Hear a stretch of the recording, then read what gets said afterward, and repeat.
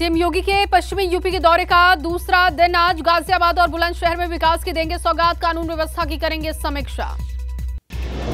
गाजियाबाद के राजनगर एक्सटेंशन में लगे योगी योगी के नारे, घरौंदा सोसाइटी में अपनी बहन के घर पहुँचे थे सीएम योगी आदित्यनाथ। यूपी भाजपा के नए प्रदेश अध्यक्ष भूपेंद्र चौधरी ने की राष्ट्रीय संगठन महामंत्री बीएल संतोष से मुलाकात। बीएल संतोष ने दी ज़िम्मेदारी के लिए बधाई। आज नोएडा दौरे पर अखिलेश यादव कार्यकर्ताओं से करेंगे मुलाकात। सपा के वरिष्ठ नेता भरत यादव के पिता की मूर्ति का करेंगे अनावरण।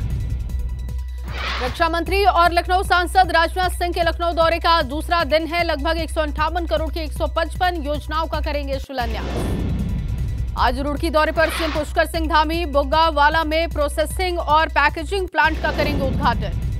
UK triple SC paper leak में एक और गिरफ्तारी, एसटीएफ ने जमानत पर बाहर आए केंद्रपाल सिंह को पूछताछ के बाद किया गिरफ़्तार। विधानसभा में नियुक्तियों का मामला गरमाया, प्रीतम सिंह ने भी जताई धांधली की आशंका, सभी विधानसभा अध्यक्षों के कार्यकाल की जाँच की मांग की।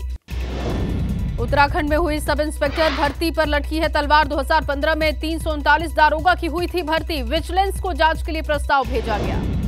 कुख्यात बदमाश आदित्य राणा पर इनाम घोषित। पुलिस ने आदित्य राणा पर एक लाख का इनाम घोषित किया। वाराणसी में गंगा के जलस्तर में बढ़ोतरी, खतरे के निशान के करीब पहुँची गंगा। हमीरपुर में यमुना और बेतवा नदी चौथे दिन भी खतरे के निशान के ऊपर लगातार बढ़ रहे जलस्तर की वजह से ग्रामीण परेशान।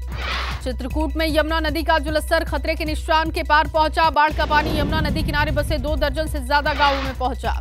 इटावा के चंबल में आई बाढ़ ने तोड़े सारे पिछले रिकॉर्ड। चंबल में लगे चकर नगर इलाके के 35 से ज़्यादा गाँव पूरी तरीके से पानी में डूबे। लखनऊ में भाजपा कार्यालय के बाहर शख्स ने आत्मदाह की कोशिश की। ठाकुरगंज इलाके के शख्स ने खुद को लगाई आग। लखनऊ में तेज रफ्तार बस ने एक्टिवा सवार दो लोगों को रौंदा। हादसे में दोनों युवक गंभीर रूप से घायल। गोंडा में लोगों से भरा ट्रक अनियंत्रित होकर पलटा। हादसे में 27 लोग घायल हुए। चित्रकूट में ज्योतिषाचार्य पर बदमाशों ने घर में घुसकर किया जानलेवा हमला। हमले में तीन लोग गंभीर रूप से घायल। गोंडा में दबंगों ने पुलिस की मौजूदगी में एक शख्स का मकान गिराया। वीडियो सोशल मीडिया पर वायरल हुआ। रुद्रपुर में एक्शन में पुलिस प्रशासन, पुलिस ने बुलडोजर चलाकर नष्ट किए बाइकों पर लगने वाले रेट्रो साइलेंसर। जसपुर में विधायक आदेश चौहान का पुलिस प्रशासन पर बड़ा आरोप कहा, एसएसपी मेरी हत्या कराना चाहते हैं। बस्ती में बच्चों को दिए जाने वाला राशन बाज़ार में बेचने की थी तैयारी कोट द्वार को ग्रामीणों ने पकड़ा। चित्रकूट से श्रद्धालुओं का एक जत्था शारदा माँ के दर्शन करने के लिए पैदल हुआ रवाना। हाथों में झंडा, मंजीरा और ढोलक लेकर जा रहे दर्जनों देवी भक्त।